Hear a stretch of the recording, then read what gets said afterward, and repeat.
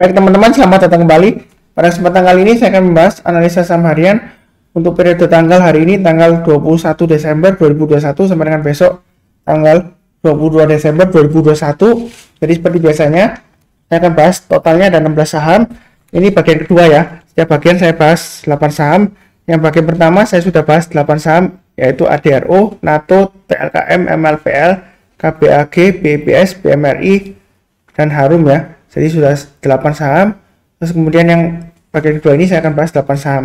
Jadi saya mulai langsung dengan SMGR jadi untuk SMGR ini kalau kita lihat trennya ya ini sudah strong downtrend ya masih strong downtrend ya. Jadi uh, kalau kita buy sekarang terus terang aja itu tangkap pisau jatuh ya.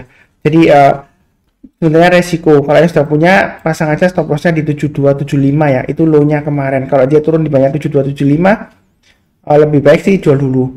Kalau yang mau buy menurut saya tunggu kalau dia berhasil naik ke atas 8400 ya. Itu lebih baik. Karena kalau kita perhatikan di sini ya ketika dia koreksi-koreksi nah amannya itu kalau dia sudah berhasil naik ke atas di 8400 barusan kita buy. Ini terbukti juga dia kena resisten yang ini kan 9100 kemudian dia koreksi. Nah amannya kalau dia sudah berhasil naik lagi ke atas 8400 barusan kita buy. Kita lihat di sini ya. Ini saya kasih tanda di sini ya. Jadi kadang-kadang um, untuk uh, beli saham memang di sini Pak Suntar kalau beli di sini kan murah kalau ke 8400 ke atas kan ya lumayan ya profitnya ya.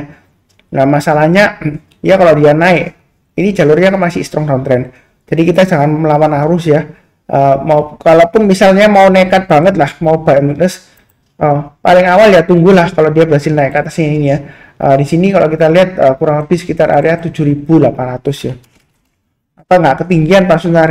Ya seharusnya sih enggak ya karena ini uh, jalurnya masih downtrend jadi nggak ada kata ketinggian ya. Karena dia arahnya kan masih ke bawah. Ketinggian ke mana? Karena dia kan masih ke bawah. Kalau ketinggian itu kalau sudah di atas ini ya kalau kita dalam perjalanan ke atas.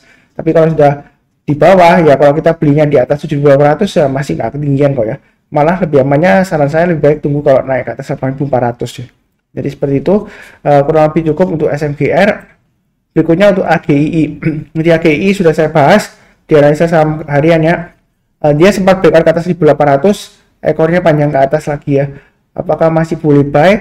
Kalaupun mau buy sekarang boleh ya tapi jangan terlalu banyak. Kalau dia naik lagi ke atas 1800 tambah lagi naik ke atas 1900 tambah lagi dan seterusnya. Target price nya di 2100 di sini ya. Uh, jadi uh, belinya bertahap aja. Ini memang uptrendnya masih cukup bagus ya. Apalagi dia sudah, sudah breakout ya. Uh, um, ini ya kalau kita lihat uh, ini tanggal 17 Desember sudah breakout naiknya lumayan tinggi uh, jadi pasang aja trading stopnya di 1700 dan 1550 selama di atas 1700 masih cukup bagus ya. Area bawahnya sekitar 1395 sampai 1400an ya. Uh, kalau misalnya nggak dikasih ya kalau mau buy weakness lebih awal ya tunggu di area 1650 lah ya. artinya kalau tunggu itu ya uh, kalau dia koreksi misalnya ya biasanya nggak melakukan koreksi nggak kalau koreksi di bawah 1650 tunggu kalau dia berhasil rebound atau mantul ke atasnya barusan kita beli. Kalau belum ya kita jangan beli dulu. Naik ke atas 1700 tambah lagi. Naik ke atas 1800 tambah lagi dan seterusnya.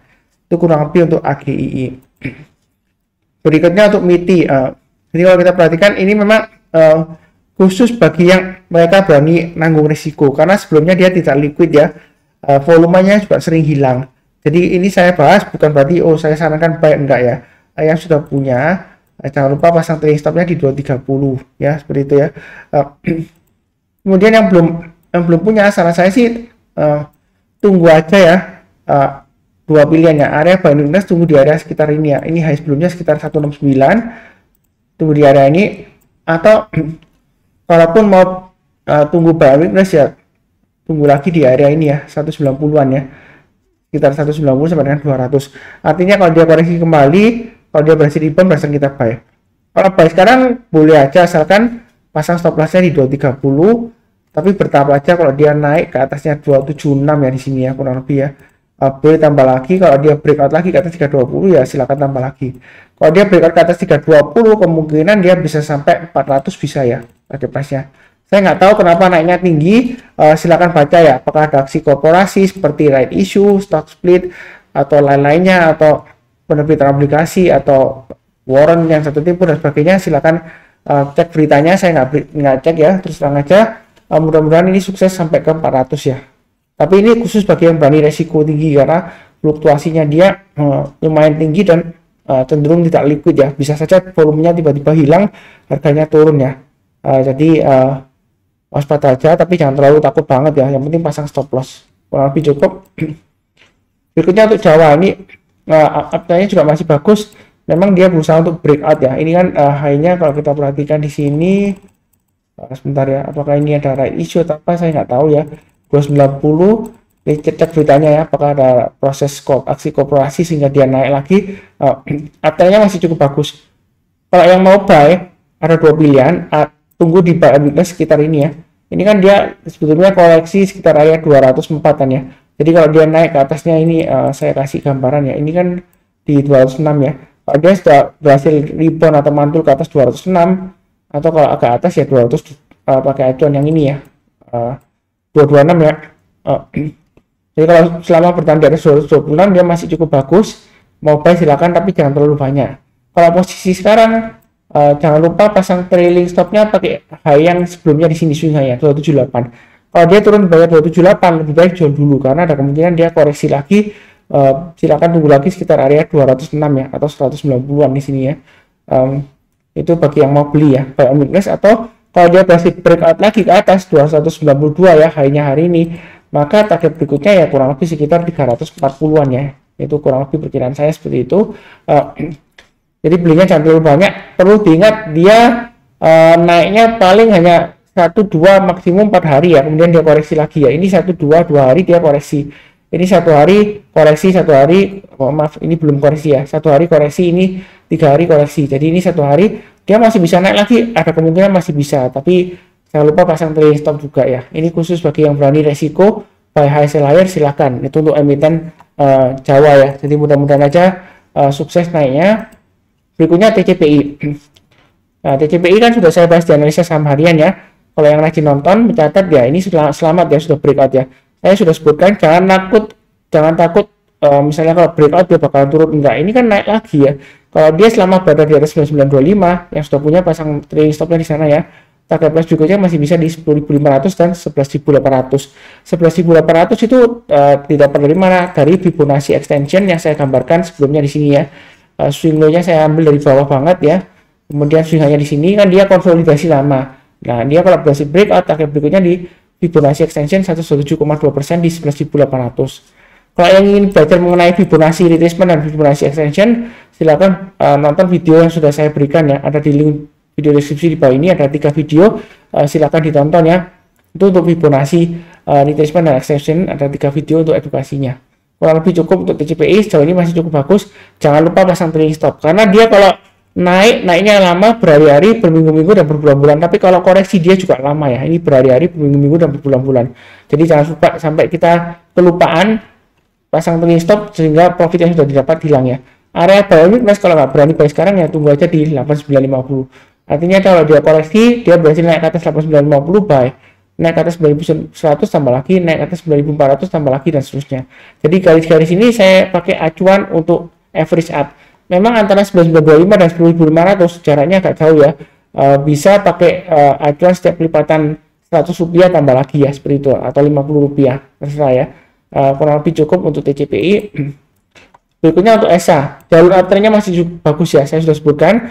Memang saya sudah sebutkan sebelumnya pasang trailing stopnya di 500 dan 474 nah kalau sudah kena maksudnya sudah kena trailing stop atau stop loss ya kita ada dua pilihan. Tunggu aja balance di area yang saya kota ini ya 422 sampai 434 lah ya. Uh, kalau dia berhasil rebound masa kita buy atau kalau dia berhasil naik lagi ke atas 500 kita buy back ya. Uptrendnya masih cukup bagus. Nah mungkin ada pertanyaan loh maksudnya ini resistennya kan lumayan kuat ya kalau kita lihat ya. Sebelumnya dia gagal lama barusan kembali lagi ya. Uh, memang benar ya tapi kita jangan terlalu takut resisten ya. Jadi di analisa teknikal itu kita jangan terlalu kaku. Oh ini resisten kuat sebelumnya turun. Oh pasti nanti turun lagi belum tentu ya jadi ini jangan terlalu curigai yang penting ya pasang trade stop atau stop loss saja. Yang sudah punya ya. Yang mau buy ya tunggu naik ke atas 500 breakout persen buy. Atau tunggu buy weakness ya. Jadi dua pilihan ya kalau yang mau buy. Kalau masih takut ya pilih saham yang lainnya lebih baik ya. Kurang lebih cukup. Uh, berikutnya Bina ya. Bina sudah saya bahas kemarin. Um, 1410 kena ya.